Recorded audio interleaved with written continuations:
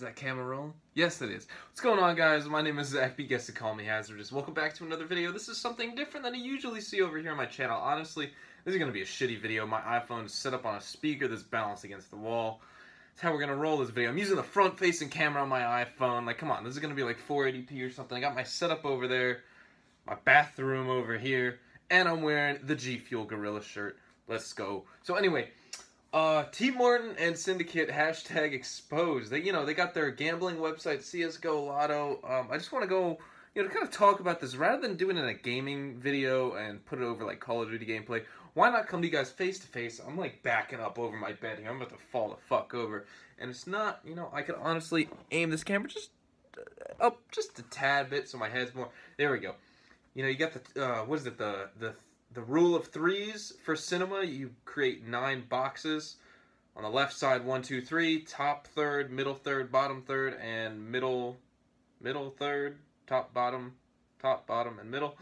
Anyway, it's so you can balance, you know, so I'm in the right, I'm going on a whole rant right here. Anyway, TmarTn and Syndicate, they are now exposed for, you know, attracting people to bet on their websites that they own, that they didn't disclose I'm still not sure of the full story here, so I would like to get a little bit of a discussion going in the po- or in the comments section below. Get a little bit get a little bit of a poll going. You know what your guys' thoughts are on this, and if you guys can inform me, uh, you know, just everything that's going on because I'm totally not familiar with it. Um. But yeah, from what I know right now is that they are making videos on, uh, you know, Counter Strike, Lotto, whatever, and you know it's a skin betting website. If you guys don't know what Counter Strike is, it's a competitive shooter, and these guys are making videos saying, um, you know, of them winning tons of money on the website, tons of skins that they're able to sell. But the fact is that they own these websites, so they're just getting skins anyway. And now nine-year-old kids are like, oh, I want to win these skins too, and then they go on the website and waste all their money, and it all goes to TmarTn and Syndicate. That's a big issue, okay? Because when you don't disclose that you own a website and you're promoting that website and you're like falsely advertising that you're winning all this money, that's a big deal, okay?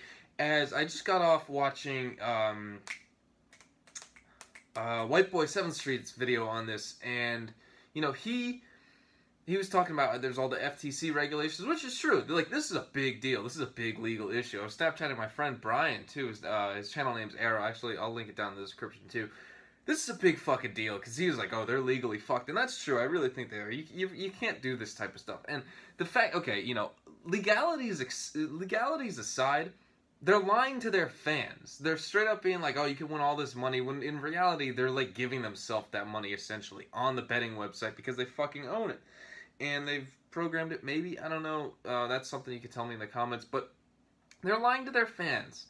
And that's what you call shady, all right? You don't do that, especially Syndicate at 11 million whatever subs and TmarTn at 3 million. You don't fucking lie to your subs. There's no reason to lie to your subs at that size, okay? I could upload a picture of my butt to like Twitter and it would get like 10,000 likes if I had 3 million subscribers on YouTube. You know, I could literally upload a 1 second video of like the ceiling and just put ad revenue on that and like a million people will watch it just because I'm a person with that amount of subs. And there's no reason to lie to your fans because when you could do that with your fans, there's no reason to have to be shady and try and get more money out of this stuff. You're already making tons of money being a legitimate human being, okay?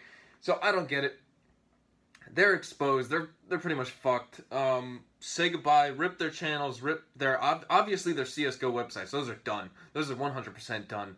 But um, yeah, we'll see what happens to their channels. I think this is Syndicate's third strike. There was the uh, Microsoft Xbox One FCC regulation thing that he had an issue with, CS:GO thing now, and he had one other thing I can't really place, uh, you know, put it on the top of my head here to kind of tell you guys. But yeah, Syndicate's 100% fucked. TmarTn, sorry, but that was a bad decision. Don't make stupid decisions like this. That's all I could say. That's what my Spanish teacher junior year said.